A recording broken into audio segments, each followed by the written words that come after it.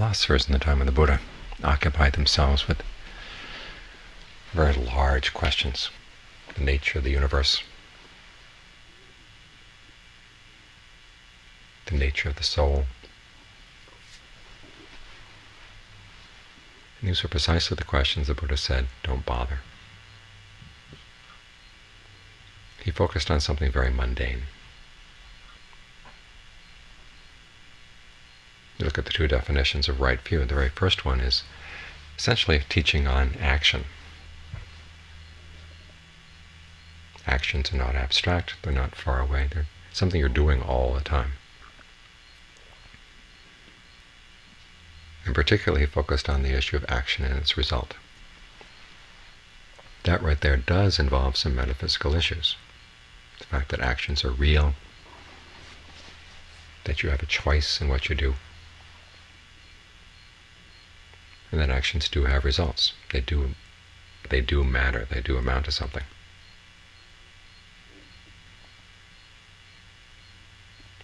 But still, the actual fact of an action is something that you can watch all the time. It's right there, right there in your mind. And the transcendent level of right view also sticks with very basic things. Again, the principle of cause and effect, but here focusing specifically on suffering and lack of suffering, which again are very immediate sorts of things. In fact, your awareness of suffering predates your awareness of even who you are. Any concept of world or self or soul came out of your mother's womb. It was a lot of suffering right there. You didn't have to have it explained to you. You knew you didn't like it. And it was something you wanted to see ended. So in essence, the Buddha's teachings are asking you to try to find an answer to the very first question that occurred to you as you left the womb. Pre-verbal. Something very direct, immediate. And something that demands an answer. Why is there suffering?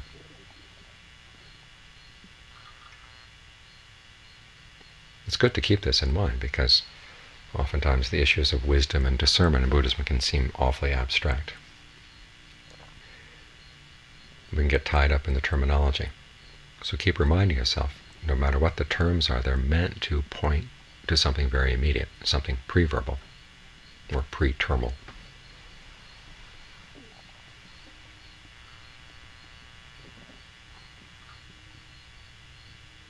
Your immediate experience of action and result, suffering and lack of suffering. And the question is how to read the connections among those things.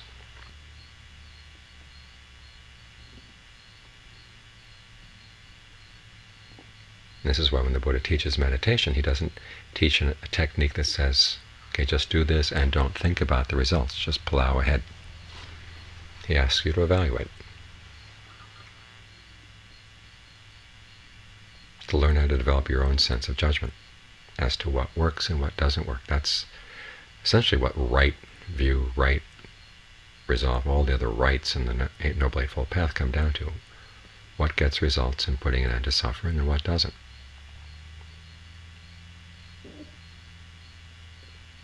In other words, what's skillful and what's not.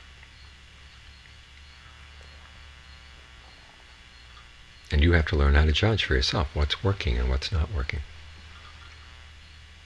This is going to take time.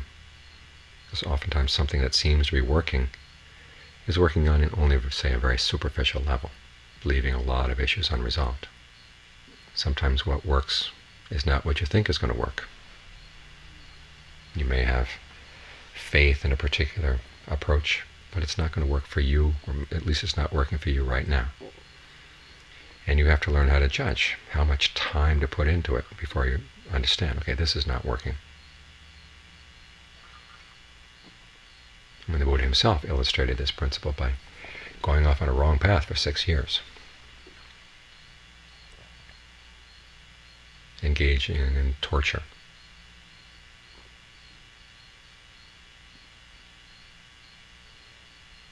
self-torture. And finally came up at a dead end. And so what did he do? He admitted this is not working, and then he cast around to find some other way that might work. So that's what you've got to do as a meditator. Not necessarily torture yourself for six years, but learn how to read the results of what's working and what's not working in your practice. And it means learning how to read what's right in front of your eyes, or actually closer than your eyes, your intentions, and the results they're getting. So even though you can read up on dependent co-arising and read up on emptiness and all the other explanations of right view, all those words are meant to point to something that's very direct, very immediate. It's happening all the time in the mind. And in very basic terms. And the Buddha defines wisdom. It starts with very simple things. Well, when I do it, will lead to my long-term welfare and happiness. Those are very simple things, very immediate, very direct. When he defines the measure of your wisdom, the measure of your discernment as your ability to look at something and realize, okay, it's something you don't like to do, but it leads to good results. How can you talk yourself into doing it? Basic psychology. Or something you like to do and you know that leads to bad results. How do you talk yourself out of doing it? There's a strategic element to his teachings on wisdom and discernment. And again, very direct, very simple. It all comes down to this principle action and result. This is why discernment is based on virtue by way of concentration. In other words, learning how to look at your actions and being able to admit, hey, this is a mistake.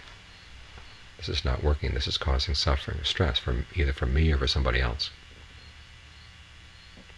How can I do it differently?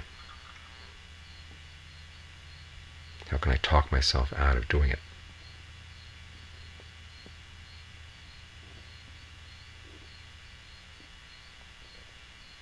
Then you learn how to apply that same principle to your mind in the practice of concentration. And it's essentially the same principle. Look at what you're doing, what's getting results, what's not getting results. Even the teaching on emptiness is simply a question of how you focus the mind in such a way that it's more and more empty of disturbance, more and more empty of suffering. How to get your mind into a good state of concentration, and then how to watch it, how to observe it.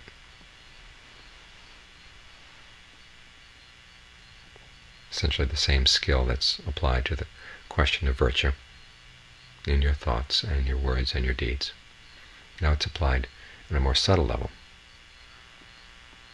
it's all in the same basic terms, action and result, skillful and unskillful, actions leading to suffering or stress, no matter how subtle, or actions leading away from suffering and stress.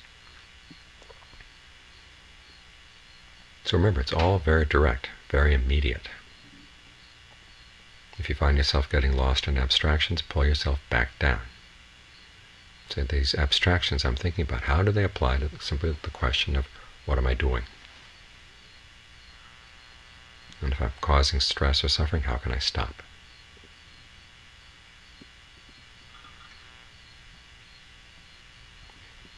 Sometimes these questions are very chastening. They force you to look at your actions, an area that what we tend not to like to look at.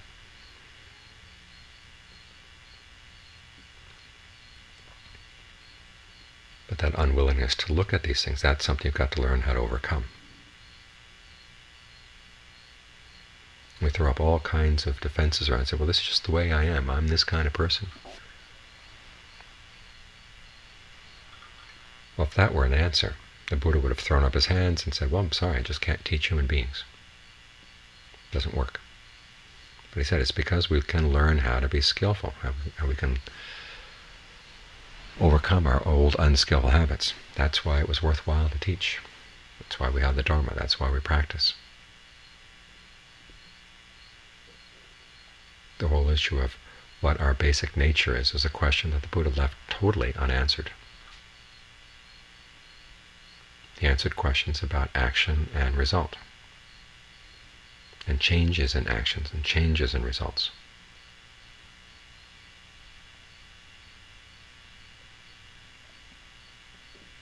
So do your best to focus your attention on that issue. Learn how to translate everything else into those terms. And drop ways of thinking that get in the way of seeing things in those terms.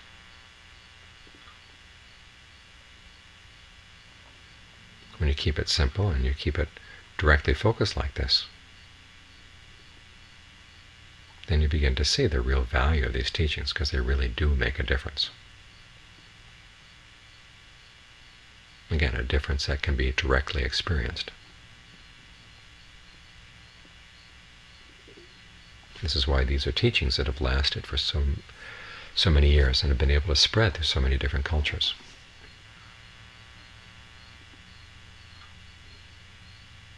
Because when you popped out of your mother's womb, you didn't have a particular culture. You had no idea what date it was. All you knew was that there was suffering and you didn't like it.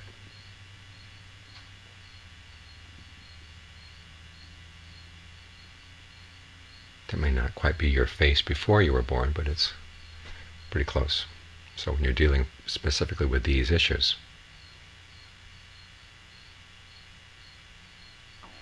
you're taking care of life's first question. First, both in the sense of time and in sense of importance.